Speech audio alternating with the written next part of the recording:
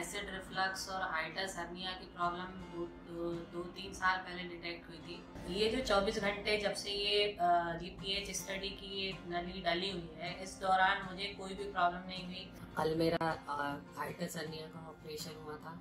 और उसके बाद थोड़ी देर में थोड़ी देर में मुझे लिक्विड विक्विड लिक्विड चालू करवा दिया था।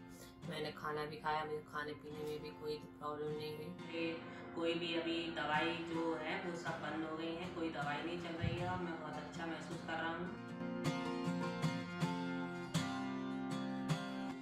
हेलो दोस्तों मेरा नाम साकेश श्रीवास्तव है। मैं भोपाल मध्य प्रदेश से आया हूँ। मुझे एसिड रिफ्लक्स और हाइटस हर्निया की प्रॉब्लम दो, दो दो तीन साल पहले डिटेक्ट हुई थी। मतलब वो भोपाल में मेरे पेट में यहाँ पे हार्ट बर्न होता था। एसिड जो है वो ऊपर की तरफ़ आता था।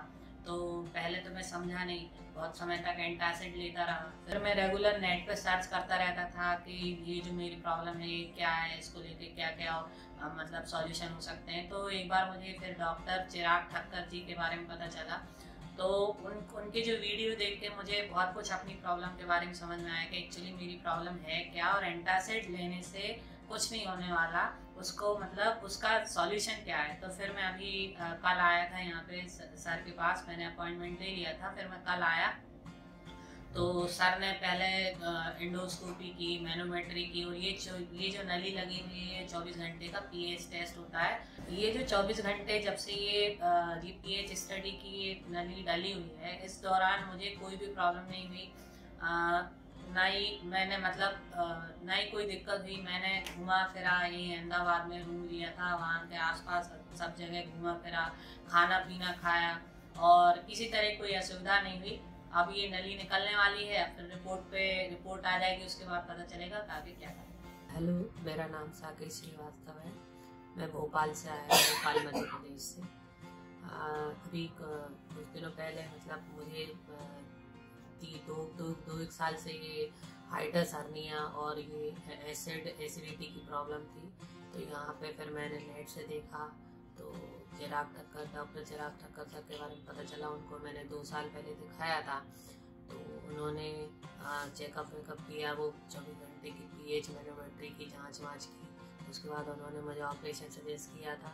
कल मेरा हाइटस हर्निया का ऑपरेशन हुआ था और उसके बाद थोड़ी देर में, थोड़ी देर में मुझे लिक्विड विक्विड लिक्विड चालू करवा दिया था।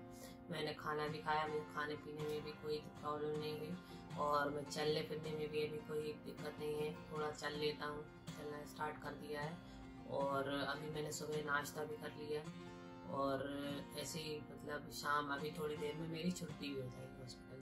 आ, मेरा नाम साकेश श्रीवास्तव है। अभी दो दिन पहले मेरा हाइटस हर्निया का ऑपरेशन हुआ था।